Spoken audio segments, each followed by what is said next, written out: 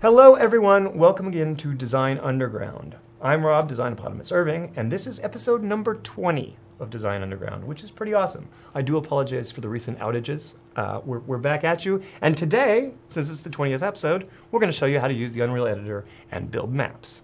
We're going to start with something very simple so you can get the basics down. If you want to skip ahead to the advanced tutorial, well, that's probably not till next week. So good luck on that one. Uh, we're going to start by making a new level. I'm already in the editor with our default level loaded up. Um, it's filled with power-ups and ships and things. It's where we test everything. But we're going to start with a new level. When it asks you, you are going to choose empty level. You don't want any floors. This is descent, after all. So, some basics about the editor. Left side is your selector for what things you're going to place in the, in the level. At the bottom, you have the content browsers, which is where you see all the pieces that you can place in the map. The middle is your viewport, and it starts out in the orthogonal view, which can be minimized, and you can see all of your different side and top views. We're going to work in the orthogonal view for the most part. Now, there are three different placement modes that you can use. That's the W, E, and R keys. They match a menu up here at the top. So you have your select and translate, that's the W key. You have your select and rotate, that's the E key. And you have your select and scale, that's the R key. We don't use that one very much.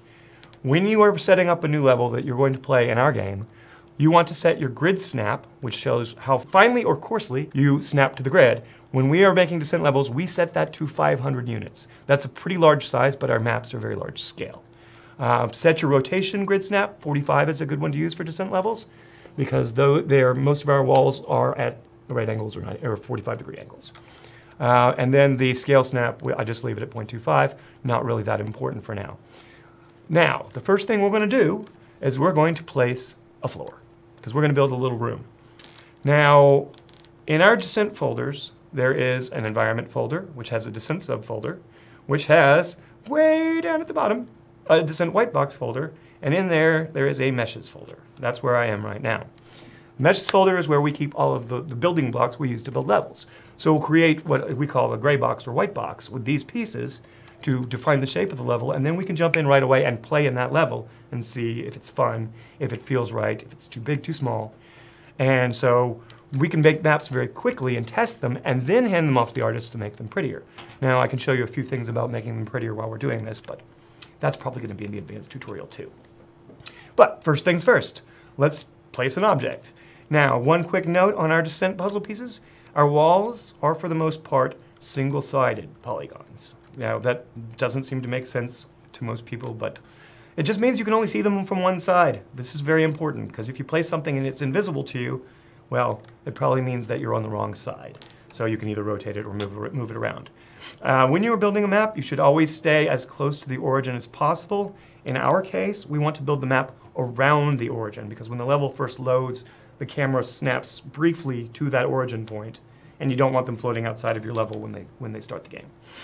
So let's go find a floor. Now you'll notice that all of these start with the letters SM, that is static mesh. We use a very consistent naming convention here for all of our pieces.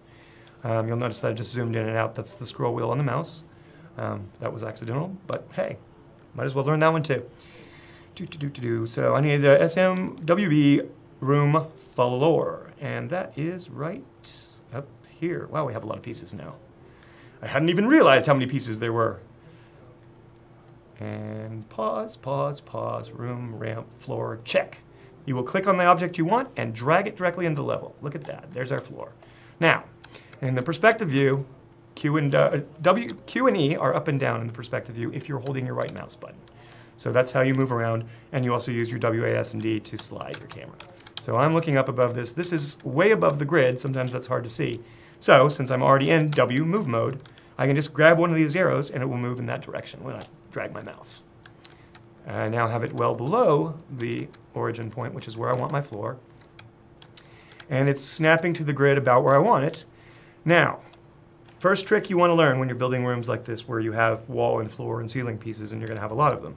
If you are in this W mode and you hold the Alt button, or Alt key I should say, and then drag your mouse on one of these move arrows, it will duplicate your piece and slide it over snap it right next to the original piece. Look at that, now I have two floors. If I control click I can select multiple objects at once if I can manage to do that through the grid, which I am over, so. There we go. Now I have two selected. If I move over here, Alt drag those two, whap, four floor pieces. It's that simple. You can very, very quickly build huge rooms and without any effort at all. You can also do this with the rotation tool. I'll show you that in just a minute when we build our walls. I'm going to put a couple more floor pieces down here, but I'm just going to do them one at a time now. And if, if you feel like you're moving too slowly in the editor because your level's getting really big, if you're holding the right button down and you mouse wheel up, it will speed up your movement. So now I'm going super fast, which is a little too fast.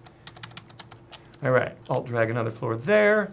Then we're going to go control click on all these floor pieces and widen our room to six, three tiles wide. There we go. We have a nice, in this case, descent cubes. These are identified with descent cubes, which are 10 meter by 10 meter cubes. That is the size of a ship's collision sphere. Um, so these, each floor tile and wall tile and ceiling tile is built for the most part out of 20 by 20 pieces. So standard hallway size in descent was 20 meters by 20 meters, which is exactly what we've done. When you're building rooms, you want to determine how many ships you're going to accommodate in the room and scale accordingly. In, in a room like this that is actually technically six descent tiles wide, um, you probably could only accommodate a couple of ships fighting comfortably, depending on how vertical the room is. All right, let's put a wall on this room. And you have to figure out when you lay your first wall exactly what direction it's facing, because you won't see it. if it's facing the wrong direction, that's not a problem. Drag it in there. Oh, good. It's facing us. We did not mess this up too much. And how did I get a wall stuck in the middle of my floor? I will never know. Delete key works if you select an object. And notice as, as I'm building this level, it is populating all the names of the objects that I placed over here. So in this case, I have a nice wall tile that I want to get snapped over against my floor. So it's not close enough. Zoom. There we go, and that's not in the right place. See, perspective is everything in this. There we go. That wall is now in the correct place. You can go up close to it and check it out. It does not look like it's snapping right. That means it's not. Well, that's just the black line. Okay, my bad. Let's quickly spread out these walls with the Alt key and dragging. And voila. Oh, I'm using the half wall. That's why it's looking so funky. That's not right. I'm overlapping them. How not to build maps correctly in Descent. Okay. There we go. Wall C is a very small wall. Notice these are 10 meter walls. They're half sized. So let's get the wall A because that's the right size wall. We'll put one of those up. Oh my goodness. Another thing you can do is when you're in the side grid modes, let's go look at one of our side views, expand it. F will focus on the currently selected piece. We don't want that perspective because we're looking at it from the side, so let's look at this one and F on it too. And F, whoops, I unselected, my bad. So anytime you use the F key, it focuses immediately on the piece you're working with. Now, when you're in this mode, you can use your arrow keys to nudge by whatever your grid snap amount is to get your pieces positioned correctly. Now, I look, you can see much better in this view that your wall is lining up correctly. If we go and look at it over here, we can check and see if it's lined up with the floor, which it does appear to be, but it's not lined up with the other wall piece. Let's see where we're missing. There. Done. Now, as I told you earlier, when you're placing these pieces, you can use the rotate tool, that's your E. You notice that it shows you which direction you can rotate an object. In this particular case, I want to rotate it along this plane to get it around the corner and do another wall piece. Hold your Alt key again for duplication, and then snap and rotate. W to move it again, put it here, and so on and so forth.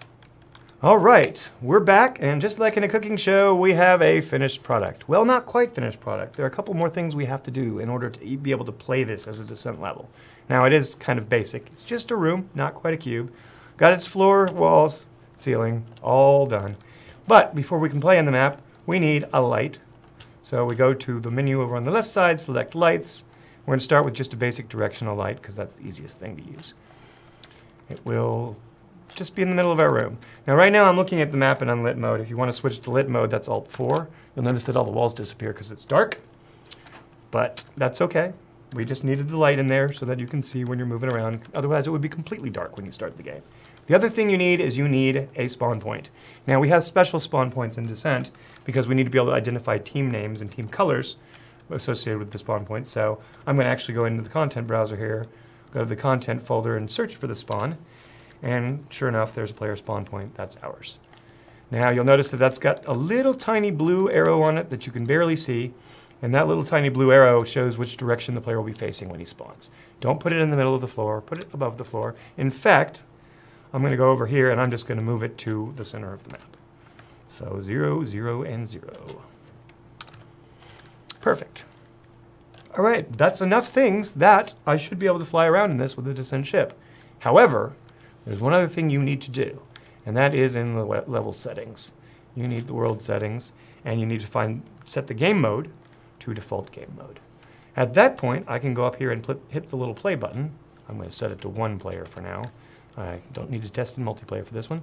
And I hit play. That spawns me in an official descent ship. And I can move around in my map. Just to test it out. So, that's about all the time we have to teach you with map building today, but we'll be back with more of it next week on the next Design Underground. I'm Rob Irving. See you next time.